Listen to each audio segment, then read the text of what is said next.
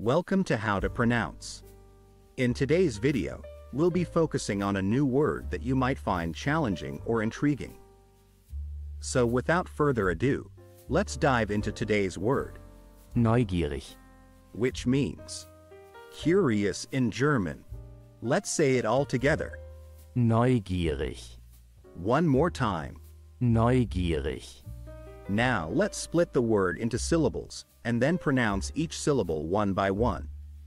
Neugierig. Thank you for joining us on this adventure in pronunciation. Remember, language is a journey, not a destination. Keep exploring, experimenting, and expanding your linguistic horizons. We'll see you next time.